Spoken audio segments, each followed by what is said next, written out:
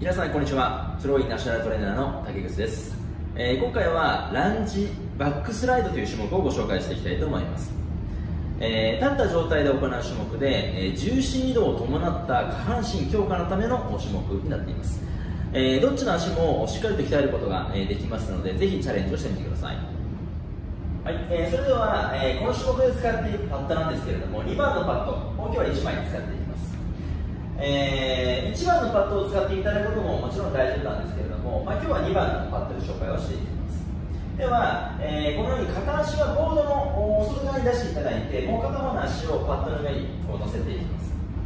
えー、この状態からランジ動作をしていきます、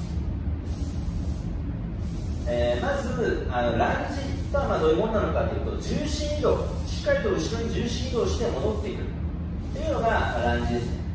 でえー、重心が真下にしゃがんでいくだけいわゆる軸足が側に体重が乗っているっていうのはいわゆるスクワットという種目になってきますので、えー、今回はランジをしていきたいのでしっかりと重心移動をしていきますで戻していきますこういった種目ですね、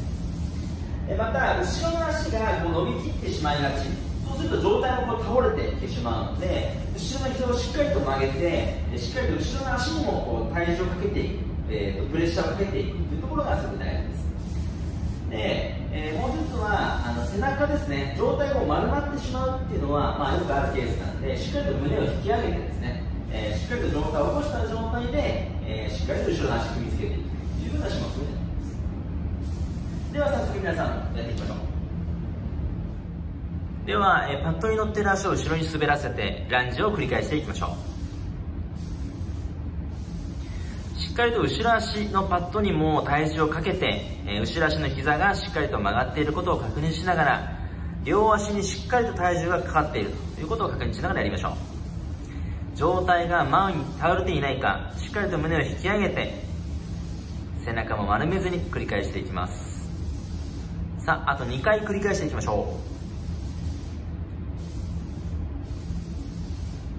う。はい、OK です。